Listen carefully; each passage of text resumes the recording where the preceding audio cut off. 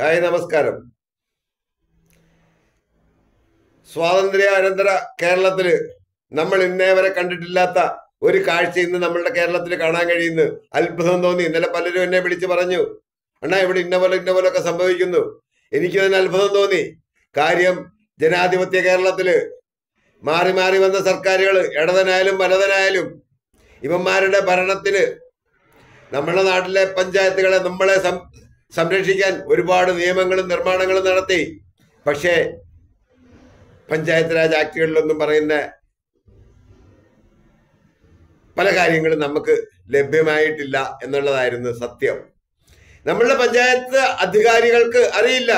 ആ നാട്ടിലെ ജനങ്ങൾ ആരാണ്? ആ നാട്ടിലെ പൗരന്മാരാരാണ് അവരുടെ വീട് എവിടെയാണ്?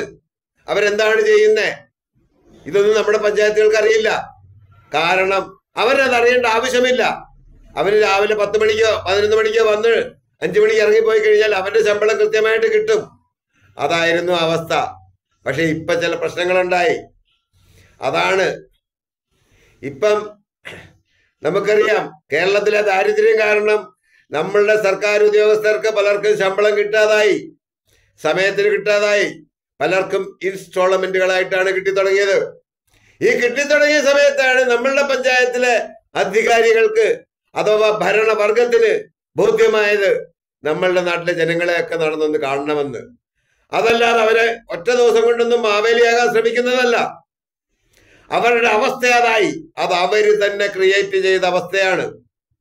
അതുകൊണ്ടാണ് ഇന്ന് നമ്മളുടെ കേരളത്തിൽ എവിടെയും നിങ്ങളുടെ പഞ്ചായത്തിൽ നടക്കുന്നുണ്ടാകും. നിങ്ങളൊന്ന് അന്വേഷിക്കുക ഒന്നിൽ നിങ്ങളുടെ വീട്ടിൽ തിരക്ക്.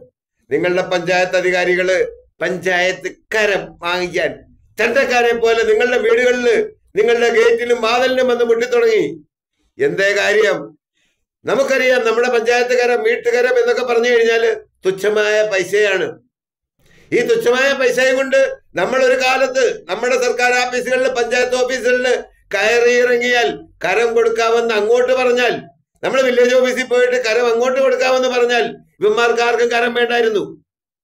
അന്നേരം ഇവർക്ക് ഇന്ന് സമയമില്ല ഇന്ന് സാറ് വന്നില്ല ഇന്ന് അവന്റെ അമ്മയുടെ നായര് വന്നില്ല എന്നൊക്കെ നമ്മളോട് പറഞ്ഞ് നമ്മളെ പിന്തിരിപ്പിക്കുമായിരുന്നു. ആ സ്ഥാനത്താണ് ഇന്ന് ഈ തുച്ഛമായ പൈസ വാർഷിക കരമാണ് നമ്മളെല്ലാം കൊടുക്കുന്നത്. വെറും തുച്ഛമായ പൈസ മാത്രമാണത്. അത് പിരിക്കാൻ പഞ്ചായത്ത് അധികാരികൾ പഞ്ചായത്ത് ഏമാമാരെന്ന് വേണം പറയാൻ. കാര്യം ഇവന്മാരുടെ എല്ലാം ഫീൽ അതാണ്. ഇവന്മാരെല്ലാം നമ്മളുടെ ഏമാമാരാണെന്ന് ഇവന്മാരിന്ന് ഓരോ വീട് തോറും തെണ്ടി തിരിഞ്ഞു നടക്കുകയാണ്. കരം തരുവോ കരം തരുവോ എന്നും ചോദിച്ചു. എന്തേ? ഈ ദാരിദ്ര്യം നിങ്ങൾ സൃഷ്ടിച്ചതാണ്. നമ്മളെ ഭരിക്കുന്ന നമ്മളുടെ ഭരണവർഗവും നമ്മളെ നമുക്ക് വേണ്ടി സേവിക്കാൻ നമ്മൾ നിയോഗിച്ച നമ്മളുടെ അധികാരികളും ചെയ്ത പ്രവർത്തികളുടെ ഫലമാണ് ഇന്ന് ഇവന്മാർക്ക് നമ്മുടെ വീടുതോറും കയറി ഇറങ്ങി പിച്ച ചോദിക്കേണ്ടി വരുന്നത്. നാണമില്ലാത്ത വർഗമായി മാറിയത്. അതേസമയം സാധാരണ ജനങ്ങൾ നമ്മളുടെ സർക്കാർ ഓഫീസുകളിൽ പഞ്ചായത്ത് ഓഫീസുകളിൽ അല്ലെ വില്ലേജ് ഓഫീസുകളിൽ കരം ഞാൻ അങ്ങോട്ട് അടയ്ക്കാമെന്നും പറഞ്ഞ് ചെന്ന് കഴിഞ്ഞാൽ നിങ്ങൾക്കുണ്ടായ അനുഭവം മാത്രം ചിന്തിച്ചാൽ മതി. ഇവന്മാരുടെ സർവരോഗത്തിനും സംഹാരിയായി മാറും നിങ്ങളുടെ ഉത്തരം. ഇന്ന് എന്തുകൊണ്ട് ഇവന്മാര് വീട് തോറും കയറി ഇറങ്ങുന്നു? കരന്ത കരന്ത എന്ന് പറഞ്ഞു. ഇവന്മാരുടെ ദാരിദ്ര്യമാണ്.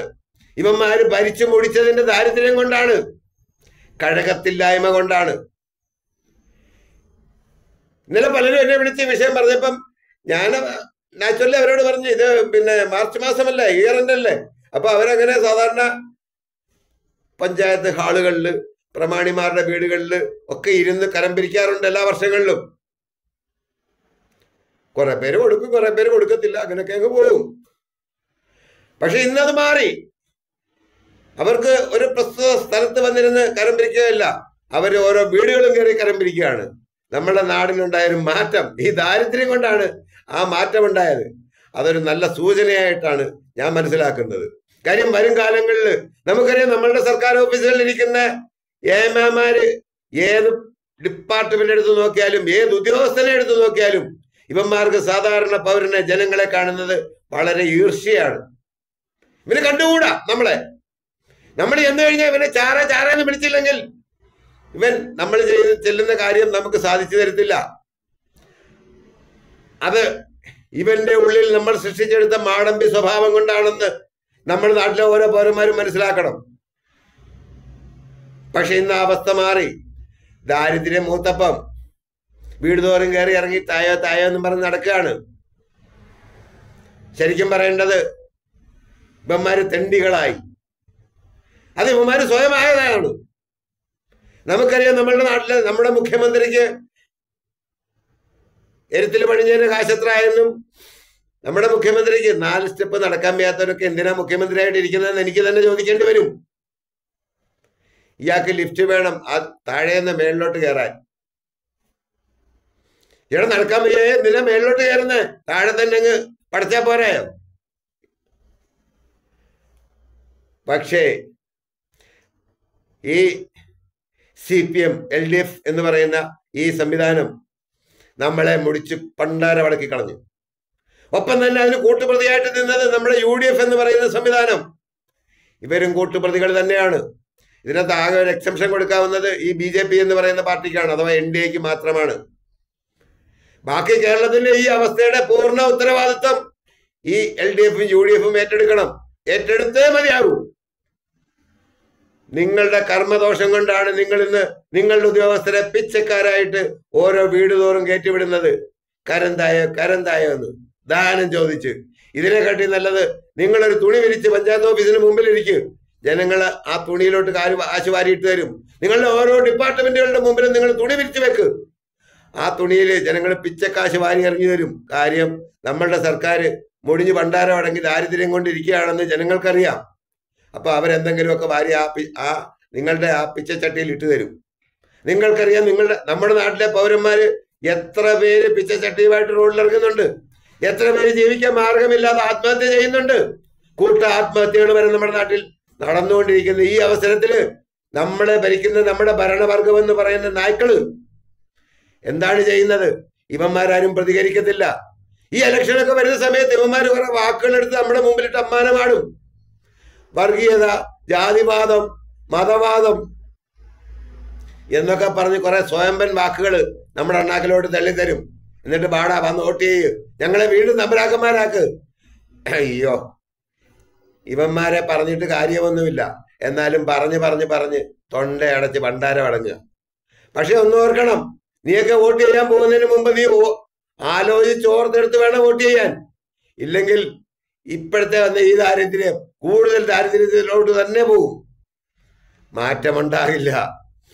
നിങ്ങൾ ശ്രദ്ധിച്ച കഴിഞ്ഞ ദിവസം നമ്മുടെ ശ്രീമാൻ മോദി വന്ന് നാട്ടിൽ പ്രസംഗിച്ച സമയത്ത് പത്തനംതിട്ടയിലോ മറ്റോ ആണ് പ്രസംഗിക്കുന്ന സമയത്ത് അദ്ദേഹം പറഞ്ഞു ഞങ്ങൾ കൂട്ടി ഞങ്ങളെ ജയിപ്പിച്ചാൽ കേരളത്തിലെ ഇന്ന് ഈ അവസ്ഥയ്ക്ക് മാറ്റം വരുത്താമെന്ന്. ഞാൻ ആ വീഡിയോ കണ്ടപ്പോൾ ആദ്യം ഞാൻ ചിന്തിച്ച് അപ്പം കേരളത്തിലെ ജനങ്ങൾ മോദിക്ക് വോട്ട് ചെയ്തില്ലെന്നുണ്ടെങ്കിൽ നമ്മളുടെ ഈ ദാരിദ്ര്യം ആജീവനാന്തം തുടരും ഇല്ലേ? A pesar de dándolo hoy.